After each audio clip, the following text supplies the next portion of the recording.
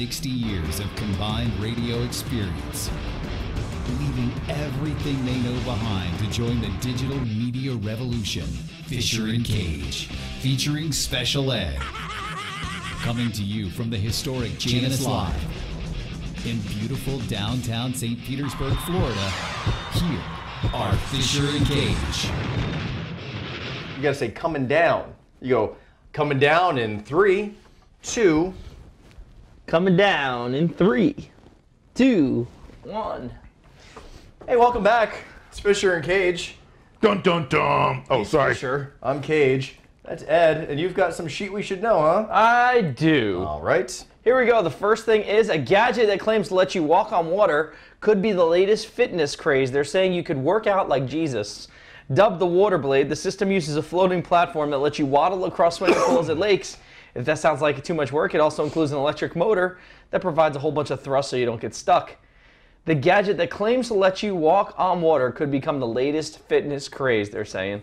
The, Hey. the Las Vegas based architect Gamili Cruz created the device, and he says it's mainly designed to be a fitness system that works legs, abs, bottom. I don't know what you just said. He says it's mainly designed to be a fitness system that works the legs, abs, and bottom. I don't give a shit. If it gives me Jesus abs, I'm in.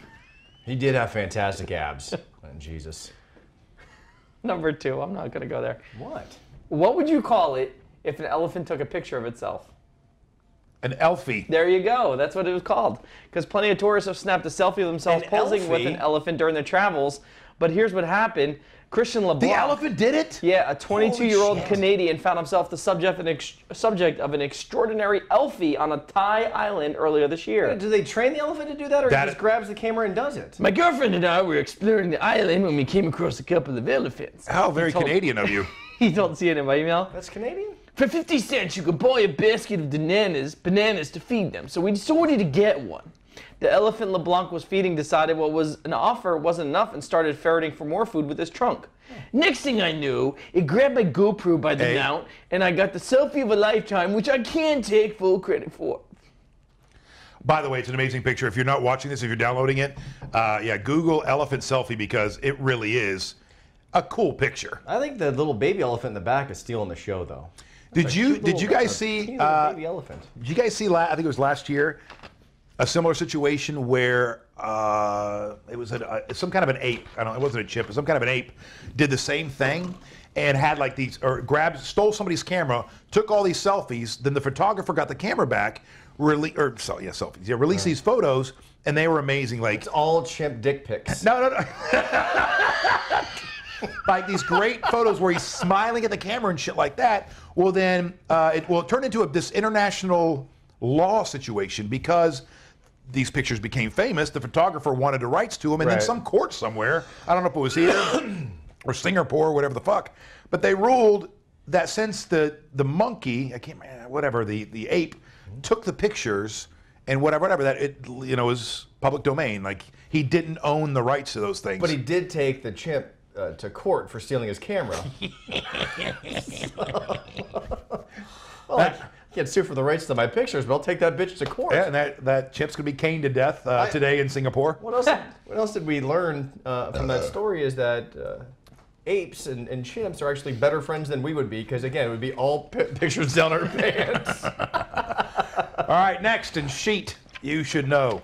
Activists have called on an 8th century pub to change its name from Ye Olde Fighting Cocks to Ye Old Clever Cocks to reflect today's compassion for animals. Animal rights group PETA, here comes PETA. Fuck PETA. They want the Albans cotton pub to adopt a new name to celebrate chickens as the intelligent, sensitive no, animals they are. The pub, which is in the Guinness Book of World Records, is as the UK's oldest, has had its current name since 1872 due to its history of cockfighting, a sport which was banned in England and Wales in 1835. She said, The name of all ye old fighting cocks calls to mind the violence and gore of cockfighting, a hideous blood sport so cruel that it has been outlawed in the UK. Oh, I thought it was an angry gay bar. Um, you said the 18th century or the 8th? Eighth. 8th. So it's been around since the 700s. Mm-hmm.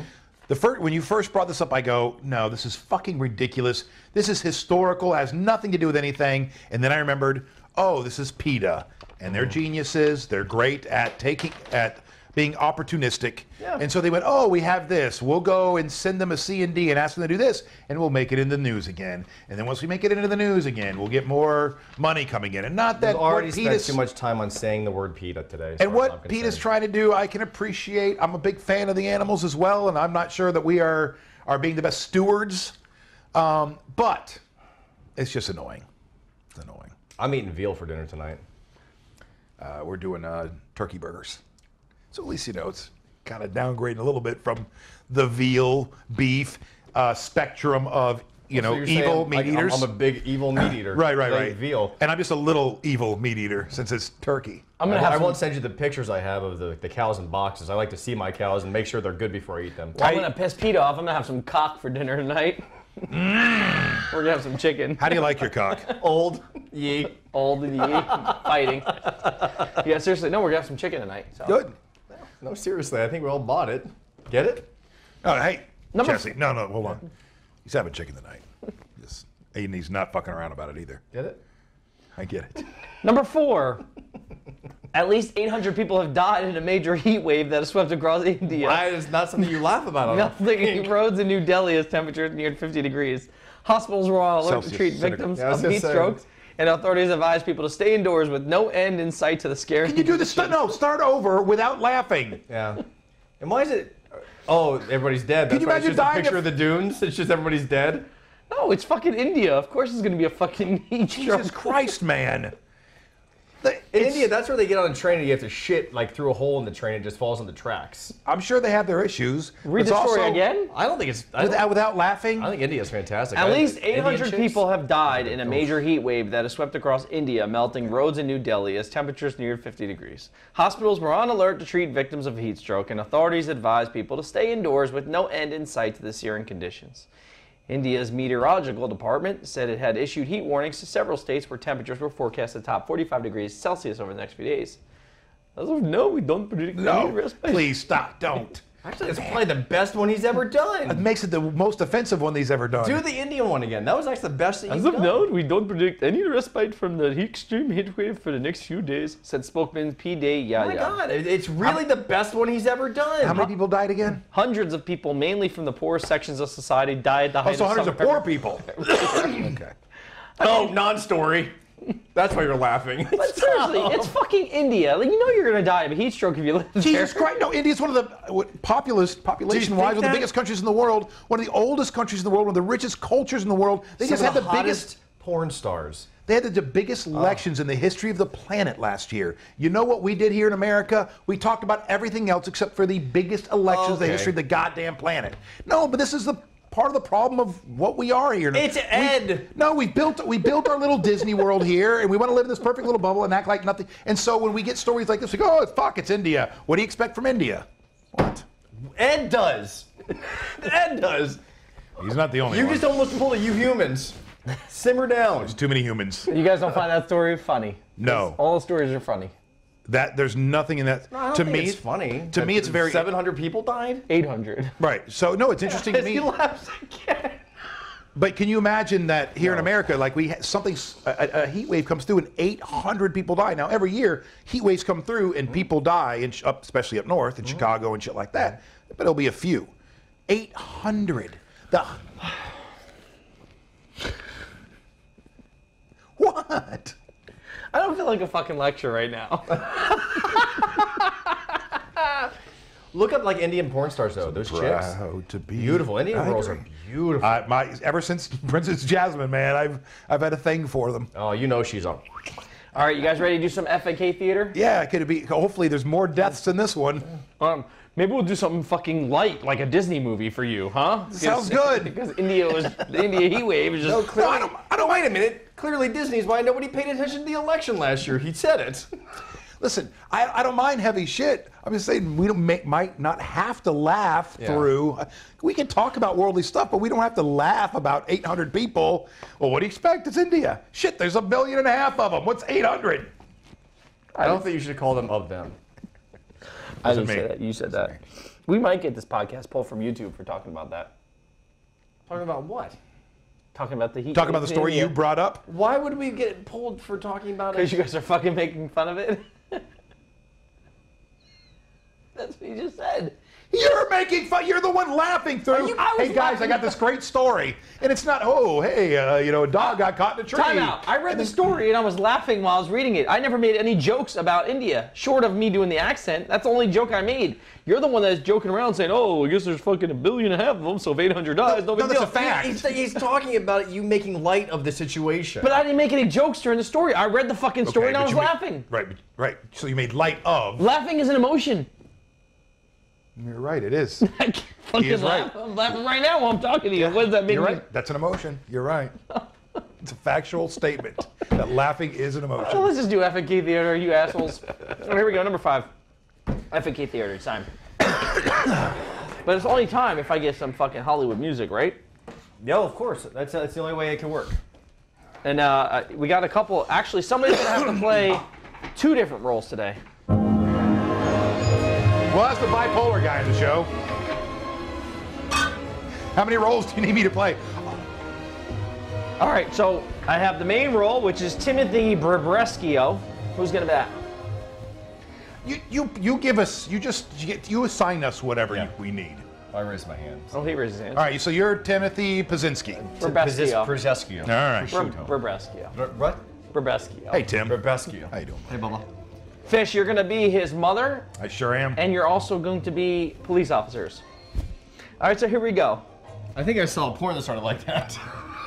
A man with a long history of mental illness attacked an Arizona Department of Public Safety patrol vehicle with a machete along Interstate 17 before an officer could deploy a Is that stun gun. Hold on. We're assuming you're the. I'm giving you the general bit, synopsis. setup, the of setup, story. Yeah, the there you go. So the man's mother arrives on the scene and explained that her son, Timothy Brabesco, had forced her from the car as they were headed to Phoenix from Colorado because he was upset she was driving too slow. So forced her from the car. Oh, oh so, He left her stranded uh, while he Nope, climbed don't behind no, the no, Don't present. not that kind of. Oh, no, my bad. He left her stranded while he climbed behind the wheel and continued traveling Oh. southbound without his mother on I-17 Sunday afternoon.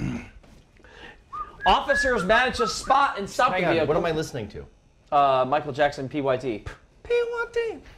What are y'all Officers managed to stop and spot the vehicle about 20 miles south of Flagstaff. Brabrescio stopped out of the car waving a machete and refused orders to stop as he walked towards the officers. One of the officers deployed a stun gun, but it had little effect. Brabrescio got back into his car, and when he began to drive off, Hang both on. officers. Hang on. What am I listening to? Now you're listening to Michael Jackson Thriller. When he began to drive off, both officers opened fire, deflating one of the tires.